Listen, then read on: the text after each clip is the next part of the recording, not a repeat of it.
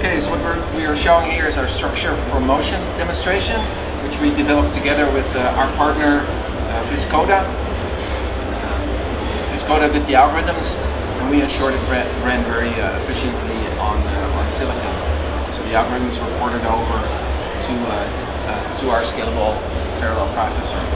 Um, what you see here, we mounted a, a camera on top of the car, and as the car moves, we actually uh, track feature points and calculate the optical flow.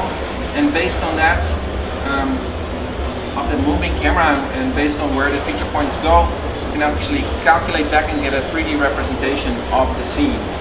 And uh, that's the structure from motion algorithm which is uh, what we're showing here. And uh, one of the uses we see this being uh, used for it can be for a front camera it can be for uh, assisted parking so using surround cameras. So um, for autonomous driving. You can uh, also use this for uh, for lane detection, etc. This is a very more basis algorithm that can be used in a lot of different ways. Um, here it's used for automotive, but the Google Tango, for instance, also uses the same techniques uh, in a mobile setup.